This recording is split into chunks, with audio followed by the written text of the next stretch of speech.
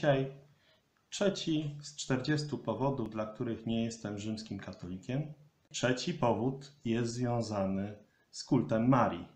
I trzeci powód, dla którego nie jestem rzymskim katolikiem, trzeci powód z 40 brzmi: Maria nie jest wieczną dziewicą.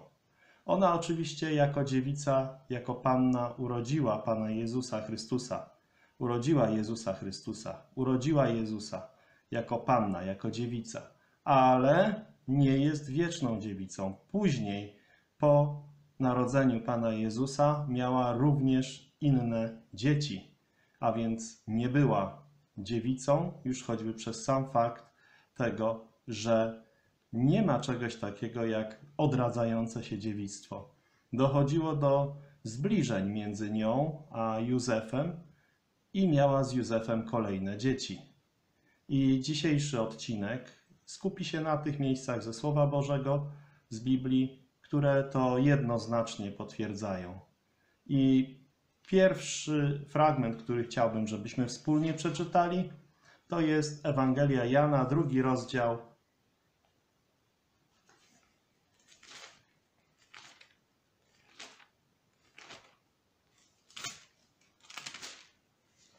A trzeciego dnia odbywało się wesele w Kanie Galilejskiej i była tam matka Jezusa. Zaproszono na to wesele także Jezusa i jego uczniów. A gdy zabrakło wina, matka Jezusa powiedziała do niego: Nie mają wina. Jak widzimy, tutaj Maria została dwukrotnie nazwana matką Jezusa, co jednoznacznie pokazuje, że faktycznie Słowo Boże jednoznacznie określa Marię jako matkę Jezusa. Nie ma co do tego żadnej wątpliwości. Gdyby ktoś chciał to podważać, no to nie może tego zrobić, jeśli równocześnie chce twierdzić, że uznaje Słowo Boże, Biblię jako jego autorytet. I kolejny fragment to jest Dzieje Apostolskie, pierwszy rozdział. Dzieje Apostolskie, pierwszy rozdział.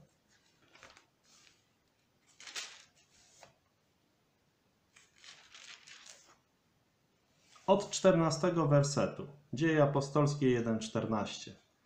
Ci wszyscy trwali jednomyślnie w modlitwie i prośbach razem z kobietami, z Marią, matką Jezusa i jego braćmi. Czyli widzimy, że tutaj po zmartwychwstaniu Pana Jezusa Chrystusa jest zgromadzenie, w którym uczestniczy Maria, matka Pana Jezusa i także jego bracia. Bracia. To pokazuje, że ta kobieta miała inne dzieci.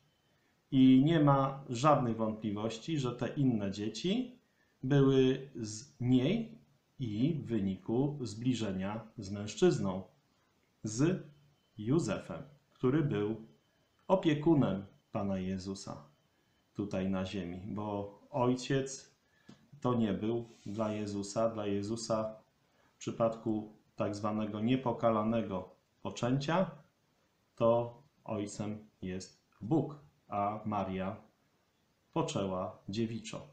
Natomiast widzimy tutaj, że nie było to dziewictwo wieczne. To jest właśnie trzeci powód, dla którego nie mogę być rzymskim katolikiem. Trzeci z 40. Tych powodów jest znacznie więcej, natomiast w tej serii chciałbym pokazać 40 i to wcale nie najważniejszych, tylko te, które jako pierwsze przyjdą mi na myśl. Następny fragment to jest Mateusza, pierwszy rozdział. Ewangelia Mateusza, rozdział pierwszy.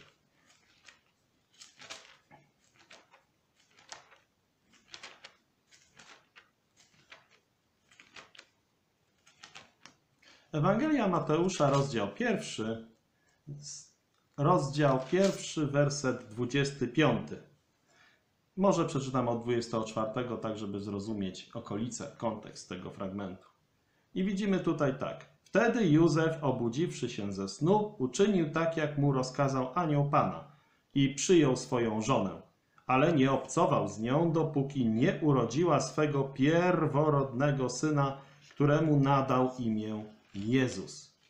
Czyli widzimy, że Józef nie zbliżał się do Marii do czasu, aż urodziła Pana Jezusa. Później Józef już normalnie spełniał swoje obowiązki małżeńskie względem Marii. Jednym z tych obowiązków jest wyżywienie. Drugim z tych obowiązków mężowskich wobec żony jest odzież. A trzecim z obowiązków mężowskich wobec żony jest obcowanie cielesne. Mamy to zapisane między innymi w Starym Testamencie, pod który podlegał Józef. I tam jednoznacznie było pokazane, że jeżeli ktoś miał brankę, którą chciał uczynić swoją żoną i traktować ją jak żonę, to miał spełniać wobec niej te trzy mężowskie obowiązki: wyżywienie, odzież i obcowanie cielesne. I było powiedziane, że kto tych trzech obowiązków nie spełni, ten ma po prostu sytuację taką, że ta kobieta może go opuścić, mimo że jest niewolnicą, bez wykupu. Jest to mocne naruszenie obowiązków wobec żony. Jeżeli mamy sytuację taką, że mamy jakiegoś leniwego nieroba, który każe swojej żonie iść do pracy, choć jest zdrowy i mógłby utrzymywać y, żonę i rodzinę i dzieci ze swojej pracy, z pracy własnych rąk, no to to jest przykład grzechu zniewieścienia, a wiemy, że żaden zniewieściały nie wejdzie do Królestwa Bożego. I tutaj, jeżeli oskarżasz Józefa, że on nie obcował z żoną, jeżeli oskarżasz Józefa, że on porzucił swoje obowiązki mężowskie wobec Marii, no to nie możesz go równocześnie czcić jako świętego Józefa. To byłby drań Józef, a przecież w katolicyzmie Józef jest czczony jako święty. Więc musisz się zdecydować, albo jest święty i normalnie współżył ze swoją żoną, albo był szubrawcem, który nie dbał o obowiązki mężowskie wobec Marii. Ale wiemy ze Słowa Bożego, że jak najbardziej pojawiły się kolejne dzieci. Ja wiem o tym ze Słowa Bożego, ty też się możesz o tym dowiedzieć. Może te miejsca, które dzisiaj wspólnie przeczytamy, pomogą ci zrozumieć, że Józef nie był draniem, że Józef był w porządku facetem. I teraz Jana Ewangelia, siódmy rozdział.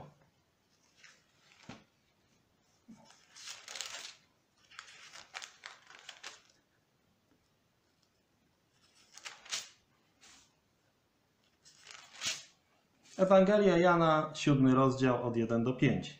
A potem Jezus chodził po Galilei. Nie chciał bowiem przebywać w Judei, bo Żydzi szukali, aby go zabić. I zbliżało się żydowskie święto namiotów. Jak wiemy z innego odcinka, święto namiotów to był czas jego urodzin, więc tutaj mamy sytuację, kiedy Pan Jezus był w tym czasie, kiedy miał okrągłą liczbę lat. Wtedy jego bracia powiedzieli do niego: Odejdź stąd i idź do Judei, żeby twoi uczniowie widzieli dzieła, których dokonujesz. Kto powiedział? Jego bracia. Nikt bowiem nie czyni nic w ukryciu, jeśli chce być znany, dlatego ty, jeśli chce, takie rzeczy czynisz, objaw się światu, bo nawet jego bracia nie wierzyli w niego. Więc tutaj wyklucza się jeden z myków katolickich apologetów, którzy twierdzą, że określenie bracia jest użyte w sensie duchowym, że oni mieli wspólnotę duchową, dlatego nazywani są braćmi. I że tak naprawdę to byli albo w ogóle obcy ludzie, albo kuzyni. Ale ponieważ byli kuzynami, krewnymi, no to ponieważ mieli te same wartości duchowe, nazywani byli braćmi. No ale słowo nawet jego bracia nie wierzyli w niego jednoznacznie to wyklucza. No bo jeżeli nie wierzyli w niego bracia, to znaczy, że zostaje nam tylko i wyłącznie możliwość, że to byli bracia według ciała, a nie według ducha. Nie byli to w żadnym sensie duchowi bracia, a jedynie cieleśni z krwi tego samego, z matki tej samej, z tego samego ciała. I teraz mamy kolejne miejsce Mateusza, 12:46. Mateusza Ewangelia. Ewangelia Mateusza, 12 rozdział, 46 werset. I następne do 50. A gdy on jeszcze mówił do ludzi, jego matka i bracia stanęli przed domem, chcąc z nim rozmawiać. Kto stanął? Matka i bracia. I powiedział mu ktoś: Oto twoja matka i twoi bracia stoją przed domem, chcąc z tobą mówić. Lecz on odpowiedział temu, który mu to oznajmił: Któż jest moją matką i kto to są moi bracia? A wyciągnąwszy rękę ku swoim uczniom, powiedział: Oto moja matka i moi bracia. Kto bowiem wypełnia wolę mojego Ojca, który jest w niebie, ten jest moim bratem i siostrą i matką. W pewnym sensie Pan Jezus tutaj znowu podkreślił, że ci cieleśni ludzie co do krwi i kości, którzy się pojawili w wersecie 46, są jedynie Jego rodzeństwem na podstawie innej niż duchowa, bo duchowa podstawa to jest posłuszeństwo Ojcu i wskazał On, Pan Jezus, grupę innych osób. Nie zaliczył do tej grupy wiernych osób swoich braci co do ciała, co jest bardzo ciekawe. Bardzo zastanawiające się, że nie zaliczył do tej grupy swojej rodzonej matki. Możliwe, że wtedy jej stan duchowy nie pozwalał na to, żeby ją zaliczyć do jego, do tego, żeby być jego matką. Ciekawe, prawda? Święta Maria według katolicyzmu, a tu taki zgrzyt, jakby nie było. No niestety tak jest. Słowo Boże nie kłamie. Kłamią ci, którzy próbują obok Słowa Bożego coś wymyśleć. I kolejne miejsce, które jest gwoździem do trumny z rzymskokatolickim pomysłem na to, że Maria była wieczną dziewicą, to jest Psalm 69. Dlaczego mówię, że jest to gwóźdź do trumny? Bo ten fragment ze Słowa Bożego pokazuje, że Bóg doskonale wiedział, że będzie kilku cwaniaczków, którzy będą chcieli trochę kasy zarobić na tym, żeby zrobić z Marii wieczną dziewicę.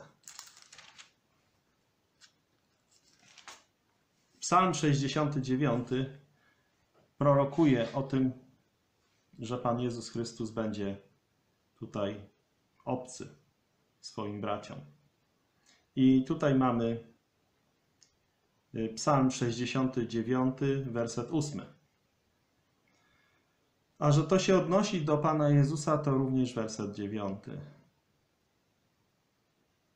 Przeczytam Psalm 69.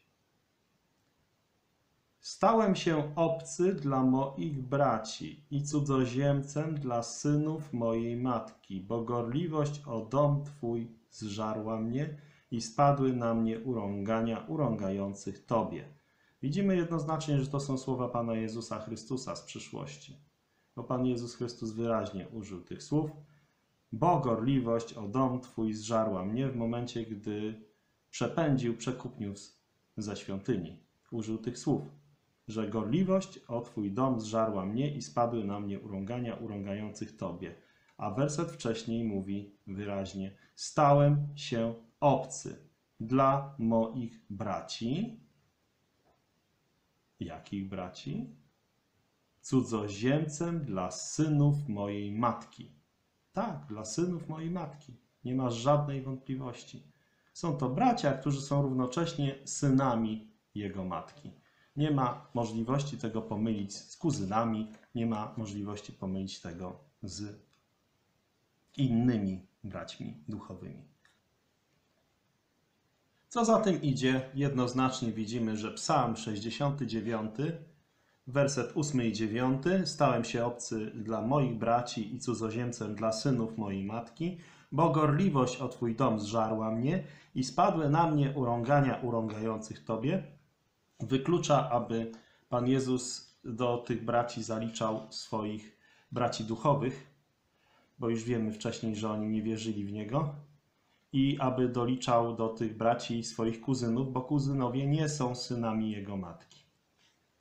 Prędzej możesz udowodnić inne bzdury, na przykład, że Józef nie był yy, braćmi, yy, nie był ojcem tych kolejnych braci, ale urodziła ich Maria, czyli możesz sobie wymyśleć, że Maria miała więcej mężczyzn w swoim życiu niż tylko Józefa. Kolejne miejsce. To jest miejsce związane z Mateusza 13:55. Mateusza 13:55.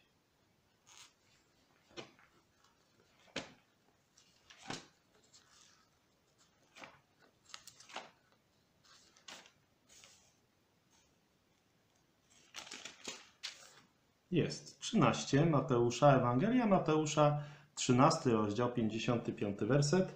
Czyż to nie jest syn cieśli, czyż jego matce nie jest na imię Maria, a jego bracia Jakub, Józef, Szymon i Juda, a jego siostry, czyż wszystkie nie są wśród nas? Skąd więc on ma to wszystko? Więc widzimy, że nie tylko miał braci, i to wymienionych tutaj czterech: Jakub, Józef, Szymon i Juda, czyli pięciu chłopców miała Maria urodzonych, ale jeszcze siostry, liczba mnoga, czyli co najmniej dwie.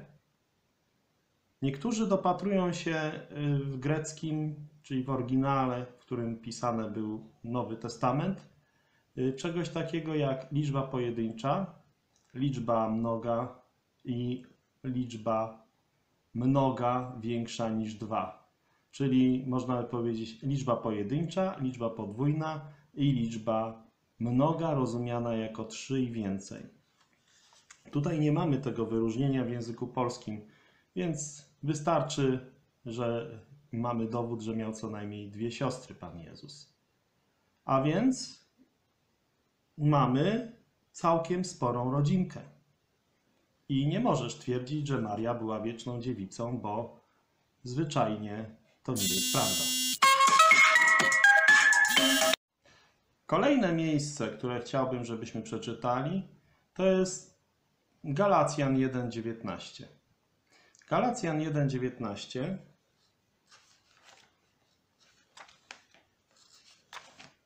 Galacjan, rozdział pierwszy.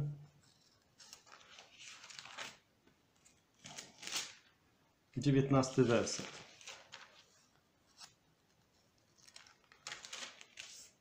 A spośród apostołów nie widziałem żadnego innego poza Jakubem, bratem Pana. Czyli Jakub jest tu nazywany bratem Pana przez apostoła Pawła. Czyli jednoznacznie widzimy, że apostoł Paweł potwierdza, że Pan Jezus Chrystus miał brata Jakuba. Nie ma więc możliwości, aby Maria była wieczną dziewicą. Kolejne miejsce, Marka 6, 3. To już jest bardzo podobne do tego, co przed chwilą czytaliśmy z Mateusza 13. Czyż nie jest to cieśla syn Marii, a brat Jakuba, Józefa, Judy i Szymona? Czyż nie żyją u nas także jego siostry? Marka 6:3. Zacząłem tym hymnem. Kogo innego mam w niebie, jeśli nie Ciebie? I są to słowa skierowane nie do Marii, tylko do Boga, do Pana Jezusa Chrystusa.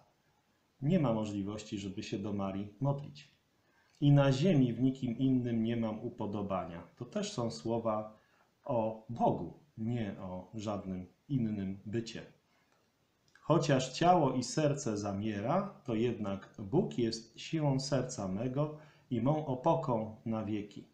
Dlatego jeśli mamy taki problem z rzymskim katolicyzmem, to to jest właśnie trzeci powód, dla którego nie mogę być rzymskim katolikiem. Trzeci powód z 40, brzmiący Maria nie jest wieczną dziewicą, jak uczą rzymscy katolicy, bo Słowo Boże całkowicie zaprzecza temu. Dostałem dzisiaj takie gorące pytanie, które stwierdziłem, że nadaje się na to, żebyśmy y, spróbowali na nie odpowiedzieć online. Y, pytanie. Witajcie. Nurtuje mnie pewna rzecz. A mianowicie, dlaczego obowiązkiem małżeńskim jest współżycie seksualne, skoro Maryja była dziewicą, a żyła z Józefem? Skąd się wzięła ta zasada?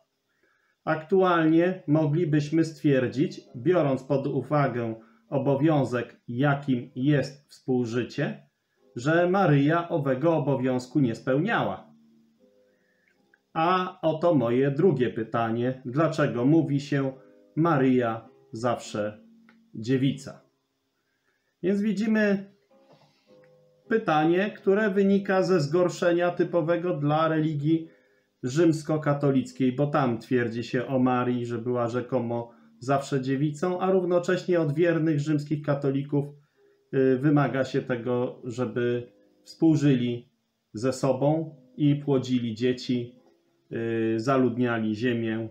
Co prawda, y, ostatnio papież rzymskokatolicki twierdził, że nie są katolicy królikami, więc nie musi to aż iść na taką skalę, ale został za to dosyć obficie skrytykowany przez wielu. Yy, I podkreślano, że nie było to mówione ex cathedra, czyli z punktu widzenia rzymskokatolickiego nie było to nieomylne, tylko to było prywatne zdanie yy, po prostu jednego z katolików, który przypadkowo również jest papieżem. Więc, yy, no więc, co z tym pytaniem zrobić? Nie da się utrzymać dwóch rzeczy naraz. Albo Maria była faktycznie dziewicą i złą żoną, i dlatego, jak mówią legendy, Józef szybko zmarł. No, był na świeczniku, w, widać było go, tak? Y, jako tego, który był opiekunem y, Marii, zawsze dziewicy, według tego mitu, y, a swoje potrzeby jako mężczyzna miał. No więc nic, tylko umrzeć. Yy, w takim wypadku, jak się jest zdrowym mężczyzną. No bo rozwieść się za bardzo nie mógł, będąc świętym katolickim. No więc tak nie było. To jest nieprawda. Nie było takiego problemu. To jest całkowicie wymysł religijnych yy, szaleńców. I yy, odpowiedź według Biblii jest następująca. Według pierwszego listu do Koryntian, siódmy rozdział. Otwórzmy Słowo Boże z pierwszego listu do Koryntian. Rozdział siódmy. Wersety od, od trzeciego do piątego. Mąż niechaj oddaje żonie, co jej się należy, podobnie i żona mężowi. Nie żona rozporządza własnym ciałem, lecz mąż Podobnie nie mąż rozporządza własnym ciałem, lecz żona.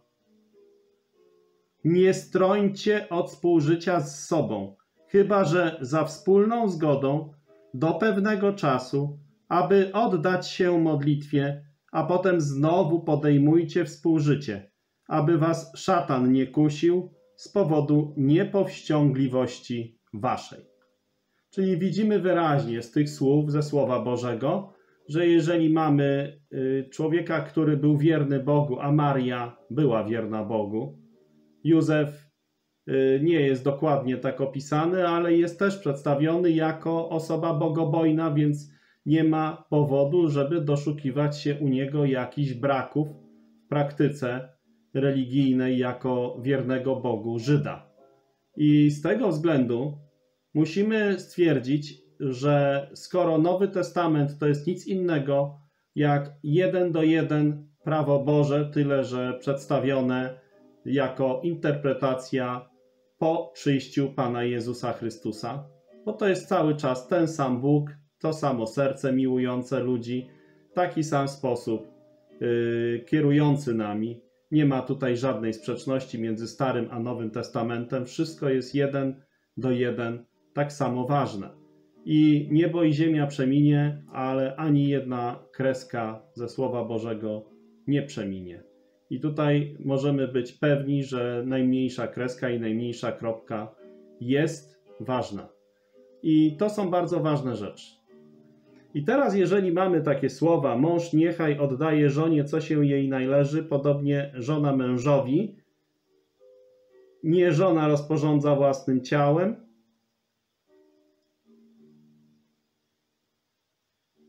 lecz mąż. Podobnie nie mąż rozporządza własnym ciałem,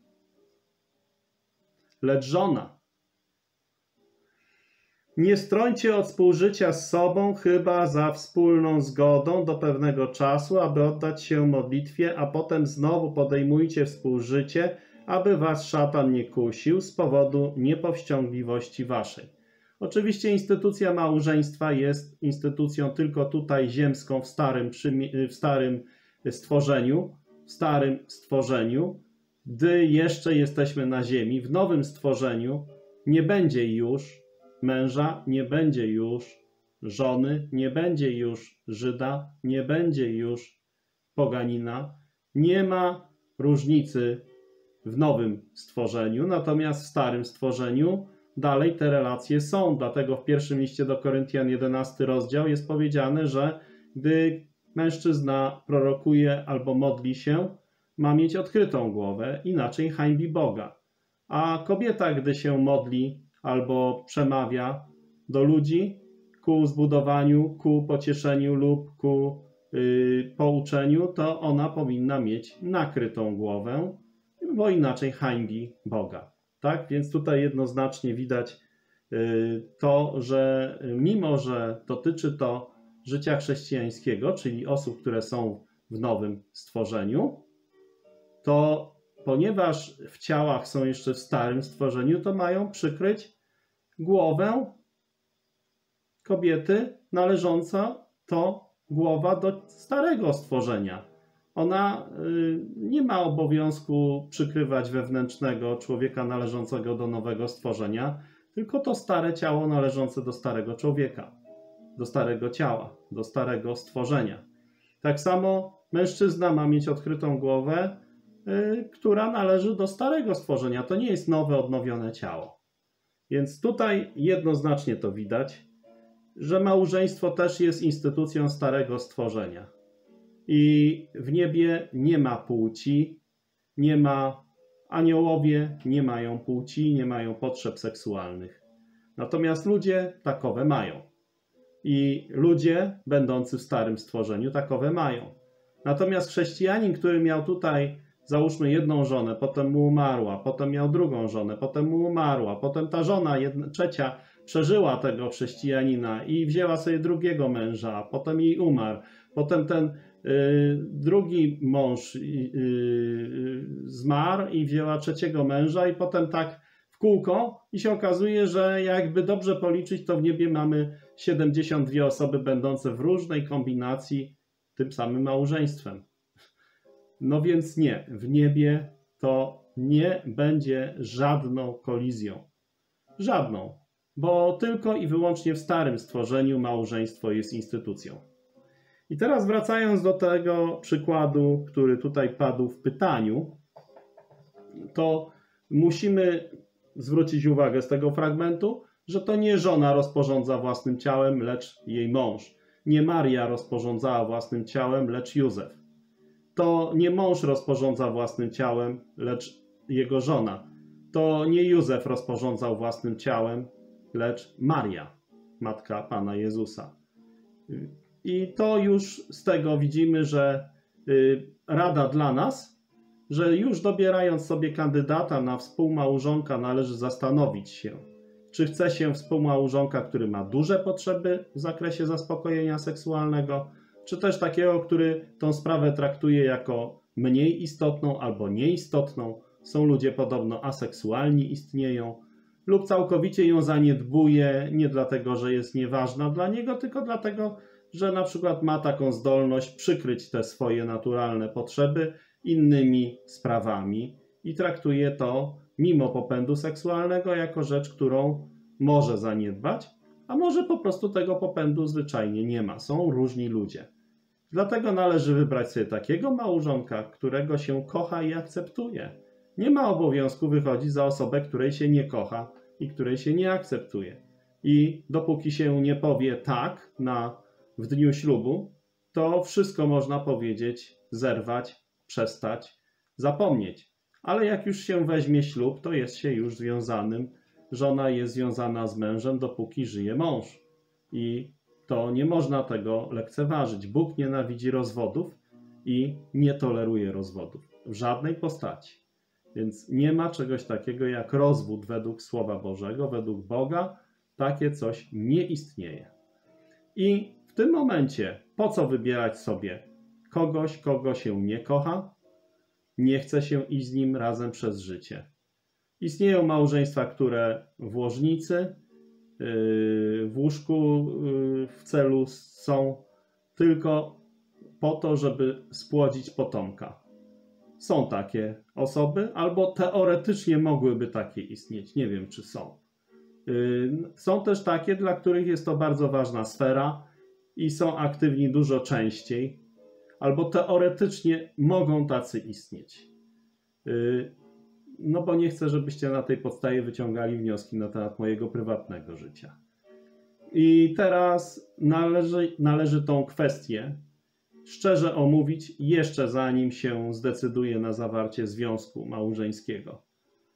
A co do Marii, matki Pana Jezusa, to oczywiście nie wiemy, jak bardzo aktywnie seksualnie była, ale wiemy, że miała wiele dzieci, kilka córek i kilku synów. Ponieważ dzieci nie są przynoszone przez bociany, to wyciąganie wniosku, że rzekomo miała te dzieci będąc dziewicą jest całkowicie nieprawidłowym wnioskiem. I na przykład Psalm 69 mamy tam skargę Pana Jezusa zapisaną, która brzmi dość mocno. Psalm 69 Stałem się obcy braciom moim i nieznany synom matki mojej. Yy, Psalm 69, werset 9. Stałem się obcy braciom moim. Apologeci z różnych sekt, które uznają, że Maria jest zawsze dziewica, próbują mówić, no tak, braciom, braciom, ale to bracia to kuzyni. Duch Święty o tym wiedział, że będziecie tak kłamać. I dlatego dodał drugą linijkę i nieznany synom matki mojej. Czyli nie chodzi o żadnych szwagrów, o żadnych kuzynów, o żadnych przyszywanych. Chodzi o braci, którzy są synami matki. Więc nie ma tutaj żadnej możliwości, żeby się wyślizgać z tego. Duch Święty wiedział, że będziecie tak kłamać. I wiedział o tym i z wyprzedzeniem w Słowie Bożym zawarł i nieznany synom matki mojej. Tak, żebyście mieli zamknięte usta w dniu sądu, jeśli będziecie dalej decydować się kłamać wbrew prawdzie.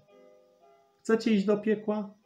To sobie idźcie, ale wiedzcie, że Słowo Boże jest spójne i już zawczasu zawarte są słowa od Ducha Świętego, że chodzi o synów matki Pana Jezusa.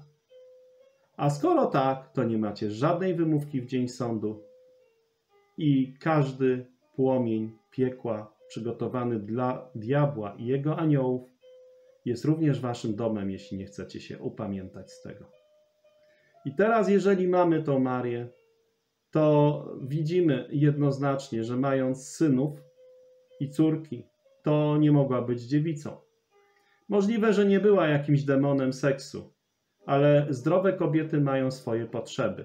A Maria była zdrową kobietą, przecież Bóg nie wybrałby na urodzenie swojego syna jakiejś chorowitej kobiety o zaburzeniach hormonalnych. Więc była zdrową kobietą i miała swoje potrzeby. Miała zatem najprawdopodobniej standardowe libido, popęd seksualny, a to oznacza, że przerywała współżycie z małżonkiem tylko i wyłącznie na krótki czas, za obopólną zgodą, a nie, że ona teraz taka święta, a Józef usycha, bo yy, pragnie żony. Nie, czegoś takiego nie było. To jest obopólna zgoda. Mąż i żona muszą się zgodzić, że dziś nie współżyją. Jeśli żona chce, mąż nie rozporządza własnym ciałem, lecz jego żona.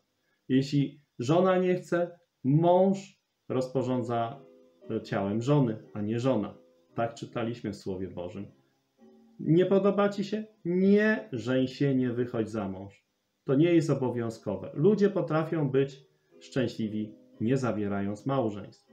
Ale jeśli już zawarłeś małżeństwo, to szanuj to, do czego się zobowiązałeś. Jest to jeden z Twoich obowiązków, aby we współpracy z małżonkiem te rzeczy rozwijać.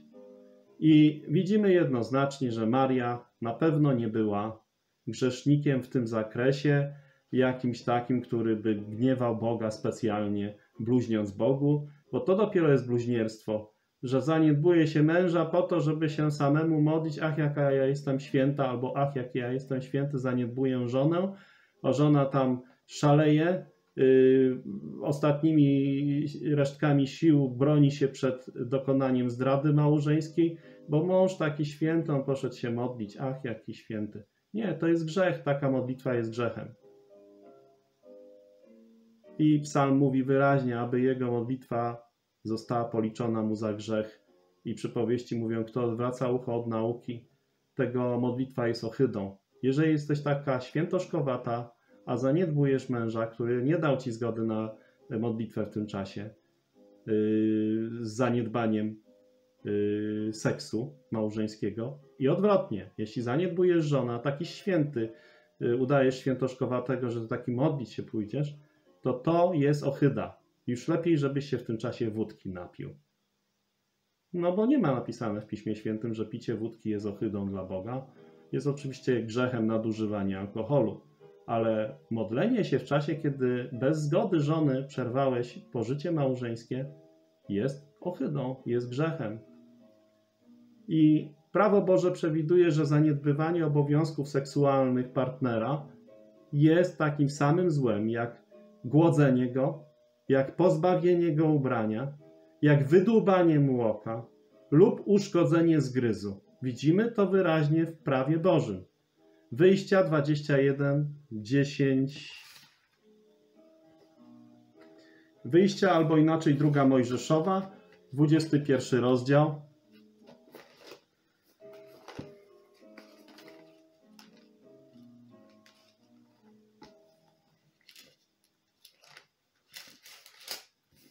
Dwudziesty pierwszy rozdział, dziesiąty werset. Jeżeli weźmie sobie inną za żonę, nie ujmie jej ani pożywienia, ani odzieży, ani obcowania cielesnego. Jeżeli tych trzech obowiązków wobec niej nie spełni, to ona odejdzie za darmo bez wykupu. Widzimy? Tutaj chodzi o kobietę, którą człowiek wziął sobie na żonę wbrew jej woli. Jako niewolnicę seksualną, która stała się jego małżonką. I to po prostu je, ma obowiązek te trzy rzeczy jej zabezpieczyć. Jeżeli nie zabezpieczy jej jedzenia, nie zabezpieczy jej ubrania, nie zabezpieczy jej pożycia seksualnego, obcowania cielesnego, to wykupi, wypuści ją bez y, konieczności wykupu. Wypuści ją na wolność. I dlaczego powiedziałem, że to jest takie samo jak wydłubanie oka albo uszkodzenie zgryzu? Mamy to w 26 wersecie tego rozdziału. Jeżeli ktoś uderzy w oko swego niewolnika lub w oko swojej niewolnicy, tak że je zniszczy, wtedy wypuści ich na wolność za to oko. A jeżeli ktoś wybije ząb swojego niewolnicy, niewolnika albo ząb swojej niewolnicy, wypuści ich na wolność za ten ząb. Widzisz? Jeżeli nie zabezpieczasz pożycia seksualnego małżonkowi, to to jest takie samo, jakbyś mu wydubał oko, wydubał zęba, albo głodził go, albo pozbawił ubrania w zimnym dniu. To jest generalnie wyjątkowe draństwo. To jest wyjątkowe bezprawie. I to drugie pytanie tutaj jeszcze było. To drugie pytanie brzmiało: Dlaczego mówi się Maryja zawsze dziewica? Ludzie różne rzeczy mówią. Sam słyszałem. Bardzo różne. No, koty jedzą trawę, to będzie deszcz. No i mówi się, dlaczego Maryja zawsze dziewica. Maryja zawsze dziewica. No może się coś rymuje w jakimś języku, a potem inni to skopiowali. Nie wiem, dlaczego tak się mówi. Znaczy wiem, z powodu grzechu człowieka, że ludzie bezmyślnie paplają różne bzdury. I na pewno Maryja, matka Pana Jezusa, nie była zawsze dziewicą i nie była zawsze bez grzechu, bo te dwa mity często się powtarzają, bo to jest mit, że Maria była bez grzechu zawsze i Maria była y, zawsze dziewicą. Biblia wyraźnie przedstawia ją jako zwyczajną kobietę, która jak już urodziła Pana Jezusa, złożyła dwa gołąbki za swój grzech. Czytamy o tym Łukasza 2,21. Łukasza Ewangelia, drugi rozdział.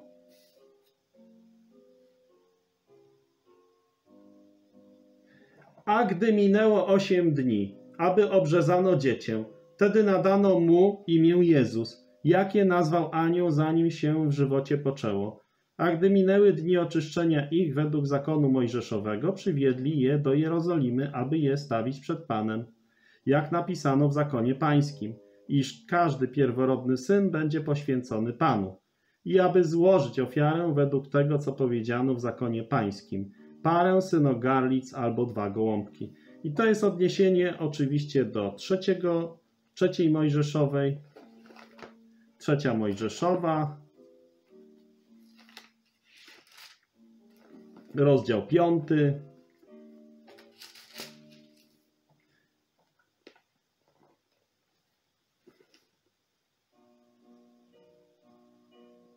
Wersety, werset jedenasty.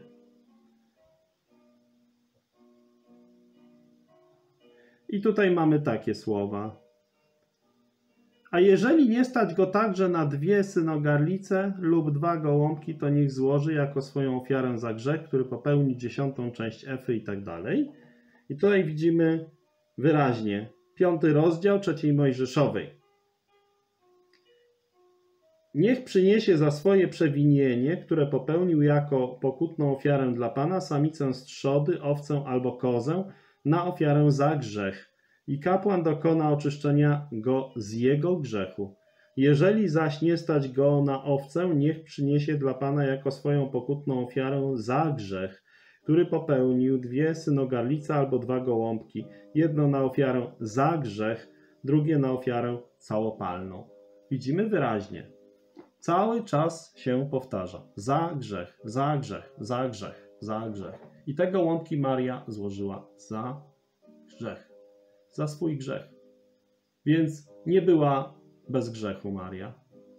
Bo to, że nie była wiecznie dziewicą, to już udowodniliśmy z Psalmu 69:9, że Pan Jezus stał się obcy braciom swoim i nieznany synom matki swojej, więc na pewno nie była dziewicą wiecznie, skoro miała wiele dzieci. I tylko pierwsze z nich, czyli Pan Jezus Chrystus, było poczęte przez Ducha Świętego, a reszta normalnie się urodziła ze stosunku męża z żoną. I druga rzecz odnośnie nie jest Maria wiecznie bez grzechu, to tutaj widzimy, że bo oczywiście ja nie sugeruję, że przestanie bycia dziewicą nie jest jakimś grzechem w małżeństwie. Nie jest. To jest normalna rzecz, że w małżeństwie jest zasada maksimum seksu w małżeństwie, co już przedstawiłem wcześniej. I nie ma tutaj żadnych ograniczeń. Poza małżeństwem oczywiście miejsca na seks nie ma. Małżeństwo to jest miejsce, gdzie jest miejsce na seks między mężem i żoną. Oczywiście przestanie bycia dziewicą nie jest grzechem, jeżeli jest się w małżeństwie. Maria w tym zakresie nie zgrzeszyła. Zgrzeszyła w czymś innym, skoro złożyła za siebie ofiarę. Tak, złożyła za siebie ofiarę za grzech. Dwie synogarlice. I no chyba, chcecie się uprzeć? Dobra, upieramy się na chwilę. Maria była bez grzechu i złożyła w ofierze dwa gołąbki. No więc w tym momencie zgrzeszyła. Nie wolno składać ofiar za grzech, będąc bez grzechu. Więc to stało się jej grzechem. I oczywiście ta druga opcja nie miała miejsca. Ona naprawdę była grzesznikiem, za y, której grzechy musiał umrzeć Pan Jezus. Więc nie wolno składać ofiary, będąc bez grzechu. Więc z dzisiejszej perspektywy na pewno była to zwykła, grzeszna osoba, która zasłużyła na sąd Boży i piekło, ponieważ po prostu każdy, kto grzeszy, umrze i trafi do jeziora ognistego. Ale jest oczywiście wyjątkowa grupa takich osób, które nie idą do piekła, na które zasłużyły. To są osoby, które uwierzyły w Pana Jezusa Chrystusa. I Maria do tych osób najprawdopodobniej się zalicza, bo widzimy ją wraz z wierzącymi na początku dziejów apostolskich. I ponieważ uwierzyła w Pana Jezusa Chrystusa, jest zbawiona i będzie w niebie z każdym, kto uwierzył w Pana Jezusa. Więc tutaj bardzo proszę, abyśmy mieli na względzie to, że Słowo Boże jest wystarczające i jedyną podstawą do wnioskowania na temat tego, co jest prawdą w zakresie biblijnych faktów. I jeżeli widzimy prostą zasadę, uwierz Pana Jezusa Chrystusa, a będziesz zbawiony, to ona jest zasadą prawdziwą tylko dlatego, że Jezus Chrystus umarł na krzyżu Golgoty i został złożony w grobie i został potem wzbudzony z martwych przez Boga i został wzięty do nieba. Czyli z martwych wstał i wstąpił do nieba. I teraz oczekujemy, aż Pan Jezus przyjdzie z nieba zabrać wszystkich chrześcijan do siebie. A potem, po tym przyjściu i zabraniu chrześcijan do siebie, zacznie się ostatnie 7 lat, 70 tygodni z 9 rozdziału Księgi Daniela, od opisanych od 24 do 27 wersetu 9 rozdziału Daniela. I po tych 7 latach ostatniego tygodnia z 70 tygodni Daniela zacznie się tysiącletnie królestwo. Pan Jezus przyjdzie w chwale i mocy. To tysiącletnie królestwo nazywane jest przez Ezechiela Nowym Przymierzem i przez Jeremiasza w 31 rozdziale jest nazywane Nowym Przymierzem i w liście do Hebrajczyków, 8 rozdział, też jest nazywane Nowym Przymierzem. Więc ostatni tydzień, ostatnie 7 lat Starego Przymierza jeszcze jest przed nami. Uruchomi się to zaraz po pochwyceniu Kościoła, po zabraniu wszystkich prawdziwych chrześcijan do nieba przez Pana Jezusa. I ostatni tydzień Starego Przymierza wtedy będzie miał miejsce. Po siedmiu latach, ostatnich latach wyznaczonych ludowi y, izraelskiemu, siedem lat te minie, przyjdzie Pan Jezus na ziemię i wprowadzi nowe przymierze w miejsce Starego Przymierza. To, co stare, bliskie jest zaniku. Bliskie zaniku znaczy, że jeszcze nie zniknęło. Nie jest napisane, że zniknęło, jest napisane bliskie zniknienia, dlatego że faktycznie jest już ostatnia godzina, niedługo zakończy się ten okres i zniknie Stare Przymierze, ale ciągle jeszcze jest. Natomiast Nowe Przymierze ma to do siebie, że prawo, o którym czytaliśmy, będzie włożone w serca ludzi i nikt nie będzie uczył drugiego poznaj Pana, gdyż wszyscy znać na ziemi będą Pana. Oczywiście to nie znaczy, że oni będą wszyscy nawróceni, bo jest powiedziane, że pod koniec Nowego Przymierza, pod koniec tysiącletniego królestwa, bezbożników będzie jak piasek morski. Mimo, że przez całe tysiąc lat Nowego Przymierza będą codziennie zabijani bezbożni. I nawet jak ktoś będzie bezbożny, to umrze dopiero jako stuletni człowiek. Więc tutaj nie będzie niemowlęcia, które by żyło kilka dni, ale śmierć dalej na ziemi będzie w Nowym Przymierzu, czyli w tysiącletnim królestwie. Ona będzie stosowana też jako kara śmierci wobec nieposłusznych. I będą też składane ofiary związane z tym, że będą upamiętniały jedyną doskonałą ofiarę Pana Jezusa złożoną na krzyżu Golgoty. Będą to ofiary składane oczywiście ze zwierząt. Tak czytamy w Ezechiela 38 rozdział i następne rozdziały. Więc widzimy, że tutaj wszystko jest dokładnie uporządkowane i należy teraz, w tym momencie, skorzystać z tego, że Pan Jezus Chrystus umarł na krzyżu Golgoty. Jest doskonałym barankiem Bożym. I Jego ofiara wystarczy, aby zgładzić wszystkie Twoje grzechy. Jeśli jeszcze nie uwierzyłeś w Pana Jezusa, nie uwierzyłaś w Pana Jezusa, to zrób to jak najszybciej.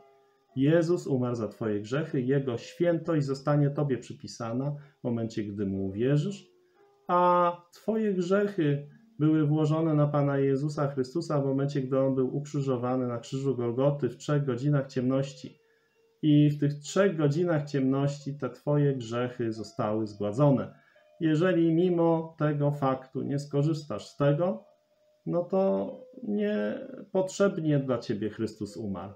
Uczynisz tą ofiarę bezwartościową w Twoim życiu, tak jakbyś podeptał, podeptała Syna Bożego i zbezcześciła krew przymierza, przez którą zostałaś uświęcona, zostałeś uświęcony.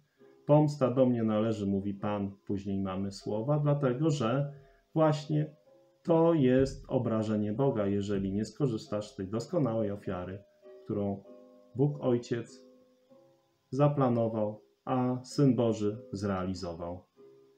Więc uwierz Pana Jezusa Chrystusa, a będziesz zbawiony, będziesz zbawiona. I niech Wam Bóg błogosławi. Y, Czytajcie Biblię, Słowo Boże. Jeśli chcecie otrzymać bezpłatnie Nowy Testament, to zazwyczaj mam Nowe Testamenty bezpłatnie, to wystarczy do mnie napisać SMS-a 739 089 088 albo zadzwonić na ten numer.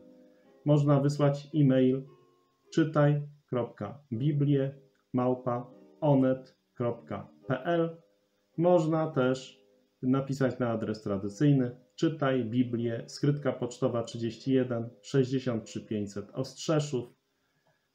Więc zachęcam do czytania Słowa Bożego i wdrażania go w swoim życiu. Niech Wam Bóg błogosławi. Serdecznie Państwa witam. Dzisiejszy odcinek jest zaskoczenia, ponieważ przy okazji 15 sierpnia gdzieś na którejś z dyskusji ktoś zadał pytanie, gdzie w Biblii jest w niebo wzięcie Marii, Matki Jezusa. No i oczywiście, gdy takie pytanie zostało postawione, każdy, kto zna Biblię, od razu odpowie. Pierwszym Tesaloniczan, czwarty rozdział. Gdzie w Biblii jest w niebo wzięcie Marii, y, Matki Pana Jezusa? Jest w pierwszym Tesaloniczan, czwarty rozdział. No i się wtedy dopiero zaczęło, zamiast się cieszyć, że dostali tacy ludzie odpowiedź, to zamiast tego się zaczęła jakaś burza, awantura, brzydkie myśli o sobie samym i o innych. Więc mam nadzieję, że ten odcinek pozwoli odpowiedzieć na to. A ponieważ to było związane z świętem rzymskokatolickim, to żeby również było to użyteczne dla wszystkich, użyję tego przekładu Pisma Świętego. Jest to przekład rzymskokatolicki. Ma te wszystkie potwierdzenia, które musi mieć, żeby był uznany za rzymskokatolicki. Proszę bardzo.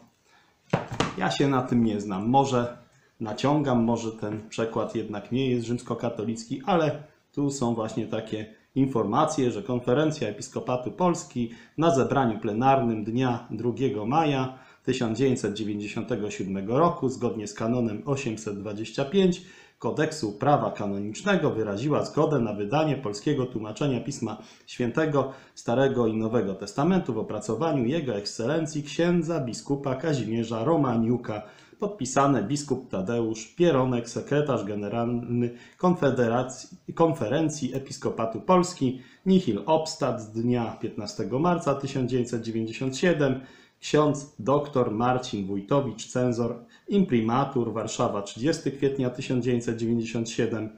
Jest potem kilka numerów i tak dalej, i tak dalej. Więc taki przykład wziąłem, żeby odpowiedzieć na to pytanie i przygotowuję też serię o tytule 40 powodów, dlaczego nigdy nie byłem i nigdy nie będę y, rzymskim katolikiem. Y, to jest kontynuacja serii, którą teraz przygotowuję dla Was, czyli 40 powodów, dla których nie jestem i nigdy nie byłem i nigdy nie będę, mam nadzieję, że mi Bóg nie odbierze rozumu i nigdy nie będę świadkiem Jehowy. I teraz też jest w przygotowaniu seria 40 powodów, dla których nie mogę być rzymskim katolikiem. I no tutaj niechcący wyszedł pierwszy odcinek. Yy, tylko, że on nie odpowiada na pytanie, dlaczego nie jestem, nie mogę być rzymskim katolikiem. On odpowiada na pytanie, gdzie w Biblii jest w niebo wzięcie Marii, Matki Jezusa. No więc odpowiedź pierwsza, pierwszym liście do Tesaloniczan, napisanym przez świętego apostoła Pawła, czwarty rozdział od 13 do 18 wiersza. I teraz ten fragment brzmi następująco. Bracia, nie chcielibyśmy, żebyście trwali w niewiedzy co do losu tych, którzy umierają. Nie chcielibyśmy, żebyście popadali w smutek jak inni, którzy nie mają nadziei. Jeśli bowiem wierzymy, że Jezus Chrystus nie tylko umarł, lecz także i zmartwychwstał, to i tych, którzy umarli w Jezusie, przez Jezusa przywróci Bóg ponownie do życia.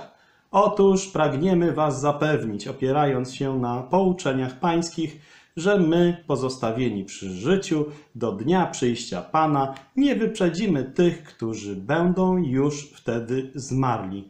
Na głos Archanioła i na dźwięk trąby Bożej Pan sam zstąpi z nieba, a zmarli w Chrystusie z martwych wstaną pierwsi. Potem my, pozostający jeszcze wtedy przy życiu, wraz z nimi będziemy uniesieni w powietrze w obłoki na spotkanie z Panem, z którym tak już zawsze pozostaniemy. Właśnie tymi słowami powinniście się pokrzepiać nawzajem. Ewidentnie jest tu wyraźnie powiedziane, że Maria, mama Pana Jezusa, będzie wzięta do nieba, y, w górę i y, że będzie razem z Panem Jezusem. Y, Drugie miejsce, Ewangelia Jana, 14 rozdział, od 1 do 3. To jest obietnica Pana Jezusa, dotycząca właśnie wniebowzięcia między innymi Marii, Matki Jezusa. I tutaj znajdujemy to w Ewangelii Jana, rozdział 14, od pierwszego do trzeciego wiersza. Pan Jezus tutaj wyraźnie powiedział: Uwolnijcie wasze serca od trwogi. Wierzcie w Boga, wierzcie również we mnie. W domu mojego ojca jest wiele mieszkań. Powiedziałbym wam, gdyby było inaczej, a ja przecież idę, żeby przygotować dla was miejsce. Kiedy zaś odejdę i przygotuję wam już miejsce, i teraz uwaga, przyjdę ponownie, czyli Pan Jezus przyjdzie ponownie i zabiorę was do siebie. Zabierze również mnie i zabierze również Marię, Pana Jezus, y, Marię, Matkę Pana Jezusa.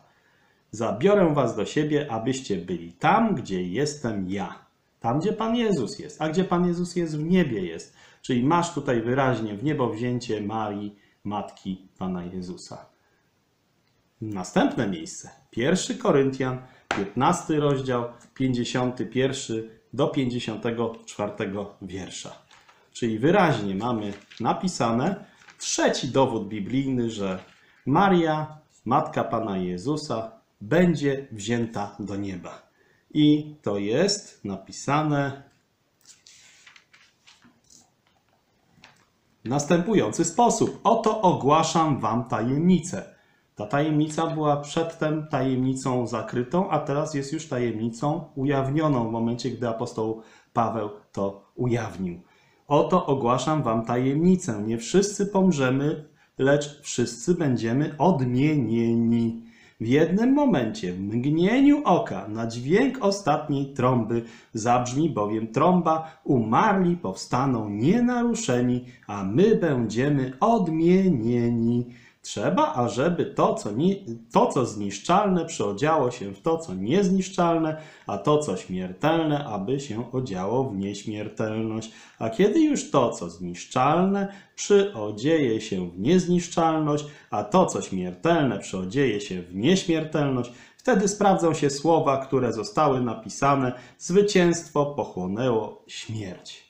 Jest to kolejny opis właśnie w niebo wzięcia mojego, jako osoby, która uwierzyła w Pana Jezusa, Twojego w niebo wzięcia, jeśli uwierzyłeś w Pana Jezusa Chrystusa jako Twojego Zbawiciela i znasz Go jako Twojego właśnie Pana i Zbawiciela i wiesz, że On za Ciebie umarł za Twoje grzechy, ale również jest to opis w niebo wzięcia Marii, Matki Pana Jezusa, bo ona też uwierzyła w Pana Jezusa i jest zbawiona ze swoich grzechów.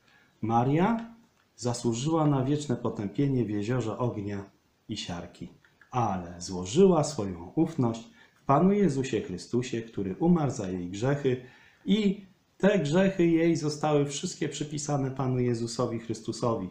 Natomiast świętość Pana Jezusa została przypisana Marii.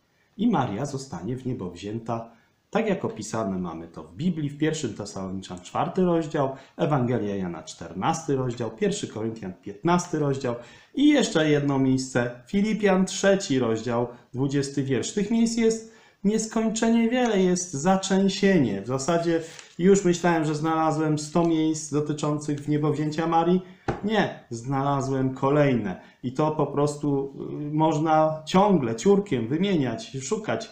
Wystarczy czytać Biblię od pierwszej Mojżeszowej, pierwszy rozdział, do objawienia Jana, 22 rozdział, po kolei i sobie wynotowywać odpowiedzi na pytania, które chcemy. Oczywiście te miejsca są najbardziej wyraźne i te miejsca jednoznacznie są identyfikowalne. Inne miejsca wynikają przez różnego rodzaju bardziej delikatne sugestie i nie wprost są czytelne dla kogoś, kto słabo zna Biblię.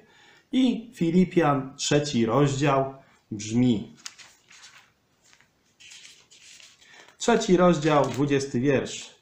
Nasza ojczyzna jest w niebie. Tak, moja ojczyzna jest w niebie. Ojczyzna Marii, matki Pana Jezusa, też jest w niebie, bo ona uwierzyła w Pana Jezusa. I nasza ojczyzna jest w niebie, i stamtąd oczekujemy przyjścia Pana naszego Jezusa Chrystusa. On to właśnie przemieni nasze ciało, przemijające, przemijające, czyli takie, które przemija, w ciało chwalebne, podobne do Jego ciała. Dokona zaś tego potęgą, jaką może poddać pod swoją władzę wszystko, co istnieje. Dokładnie tak.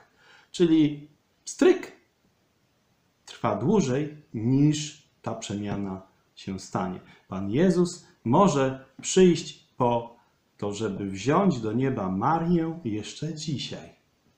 Bo to pochwycenie, zabranie, uniesienie do nieba wierzących w Pana Jezusa Chrystusa może się odbyć w każdym momencie, może się odbyć również dziś. Może się również odbyć, zanim opublikuję ten odcinek na YouTubie. Być może przez to ten odcinek nie trafi na YouTube'a. Więc generalnie Pan Jezus obiecał, że przyjdzie po swoich wierzących. I ci wierzący wiedzą, że Pan Jezus może przyjść w każdej chwili, również Maria. A skąd ja wiem, że w ogóle Maria jest wierząca?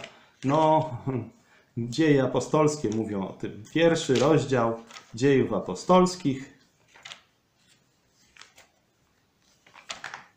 Wyraźnie to stwierdza, że ona się zaliczała do grona ludzi zbawionych.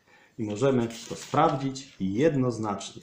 Czyli ten paskudny grzesznik, który zasłużył na wieczne potępienie w jeziora ognia i siarki, na całe szczęście pokutował, oddał swoje życie Bogu, uwierzył w Pana Jezusa i został zbawiony. Maria z Nazaretu, Maria, matka Pana Jezusa, ma przyszłość w niebie, będzie zabrana do nieba. I to czytamy tutaj. Wszyscy razem trwali na modlitwie z niewiastami, Maryją, matką Jezusa i jego braćmi. Tutaj jest po rzymskokatolicku oddane to imię Maryja, matka Jezusa. Maryja, matka Jezusa, będzie w niebie, wyraźnie opisuje to Biblia i może nawet dziś być to w niebo wzięcie Marii. I ona będzie wtedy zbudzona z martwych, a więc będzie żywa, a więc będzie żywcem wzięta do nieba. I to jest pierwszy powód, dla którego nie jestem i nie mogę być rzymskim katolikiem. Dlatego, że rzymski katolicyzm myli się, jakoby to już miało miejsce w przeszłości. To jest poważna pomyłka, ponieważ Maria, matka Pana Jezusa, będzie wzięta żywcem do nieba, ale dopiero w przyszłości, gdy Pan Jezus Chrystus przyjdzie zabrać wszystkich swoich świętych do nieba. I to odbędzie się w przyszłości. Jeszcze się teraz nie odbyło, jeszcze się nie dokonało to wydarzenie. Być może będzie to dzisiaj.